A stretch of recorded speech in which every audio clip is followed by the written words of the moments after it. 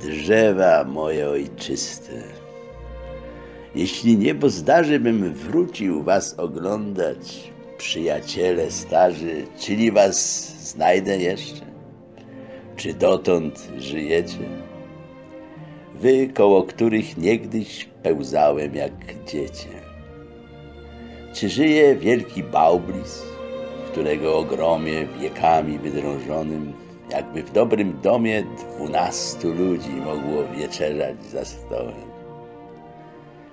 Czy kwitnie gaj Mendoga pod farnym kościołem?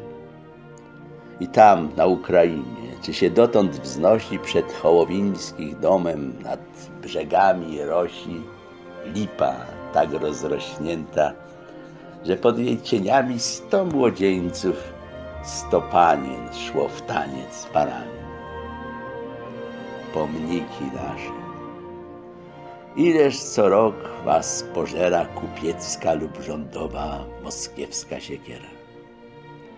Nie zostawia przytułku ni leśnym śpiewakom, ni wieszczom, którym cień wasz tak miły jak ptakom.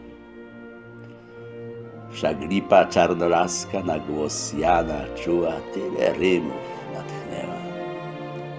Wszak ów dąb gaduła kozackiemu wieszczowi tyle cudów śpiewa.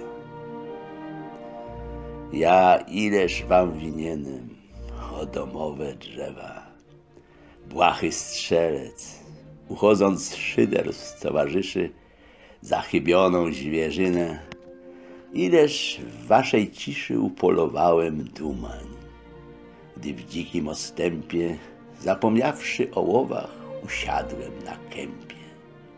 A koło mnie srebrzył się tu mech siwobrody, zlany granatem czarnej, zgniecionej jagody.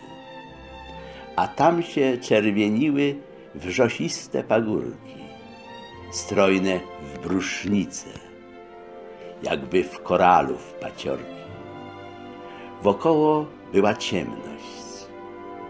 Gałęzie u góry wisiały jak zielone, gęste, niskie chmury.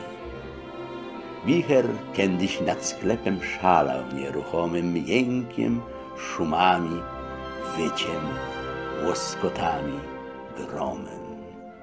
Dziwny, odurzający hałas.